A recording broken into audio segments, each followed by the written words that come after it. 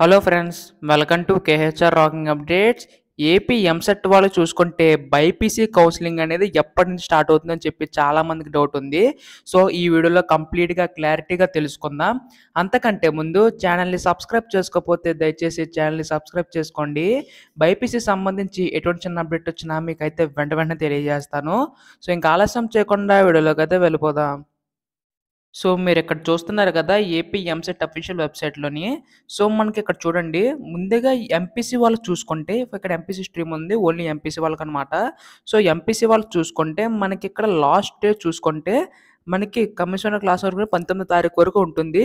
So మనకి ఇక్కడ చాలామంది ఏమేం చేస్తారంటే ఇంకా పంతొమ్మిదో తారీఖు వరకు ఉంటుంది కాబట్టి పంతొమ్మిది తర్వాత ఇంకా బైపీసీ కౌన్సిలింగ్ స్టార్ట్ అవుతుందని చెప్పేసి అనుకుంటారు బట్ అప్పుడే స్టార్ట్ అవ్వదు. ఎందుకు స్టార్ట్ అవ్వదు అంటే ఇప్పుడు మనకి ఎంసెట్లో చూసుకుంటే మనకి ఇక్కడ first phase second phase third phase అనేది ఉంటుంది. సో ఆ మూడు అయిపోయిన తర్వాత మనకి బైపీసీ సంబంధించి స్టార్ట్ చేస్తారు. In case third case third phase లేకపోతే సెకండ్ ఫేజ్తో అయిపోతే సో మీకు తొందరగా స్టార్ట్ అయ్యే ఛాన్సెస్ అయితే ఉన్నాయి. సో ఇప్పుడు మరి అసలు ఎప్పుడు స్టార్ట్ అవుతుంది? ఏ మంత్లో స్టార్ట్ అవుతుంది మీకు డౌట్ వస్తే మనకి ఆగస్ట్లో స్టార్ట్ అయ్యే ఛాన్సెస్ అయితే ఉన్నాయి. ఎందుకంటే మనకి ఇక్కడ జూలై పంతొమ్మిది కల్లా మనకి ఫస్ట్ ఫేజ్ అయితే కంప్లీట్ అయిపోతుంది.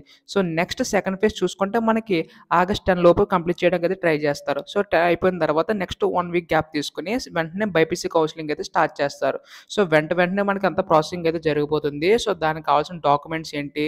అండ్ బైపీసీ సంబంధించి కౌన్సిలింగ్ ప్రాసెస్ ఏ విధంగా ఉంటుంది? ప్రతిదీ కూడా స్టెప్ బై స్టెప్ మన ఛానల్ మీకు గైడెన్స్ ఇస్తుంది.